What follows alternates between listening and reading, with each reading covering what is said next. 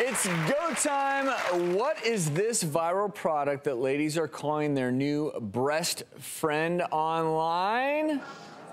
What you're looking at is called the Tata towel. So apparently it's a towel that helps combat under breast sweat. So you sling it. Do we each get one? I think so. Go ahead. Here you go, Drew. Sling it over your neck, and it's supposed to hold up your breasts, Hmm. preventing the under breast sweat. Uh, would you ever do it? So, you know, when I first saw this, I thought it was ridiculous. Travis, I wear mine here. Oh. but, but I'll actually tell you, this, this is actually a really great idea because any of you who've ever nursed, ever been pregnant, you know, everything comes down.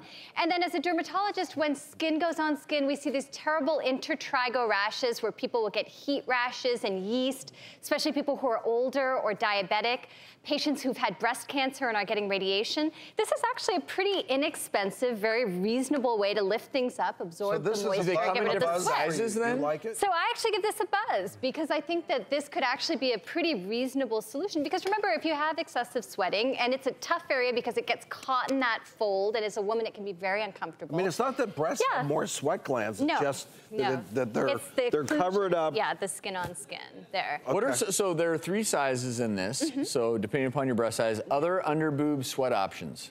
So you could do Botox, which would Okay. interrupt that signal that tells those sweat glands to release sweat. You could do higher concentration aluminum chloride, which is available over the counter and prescription strength as antiperspirants. But this is a pretty chemical-free, easy, much less expensive solution.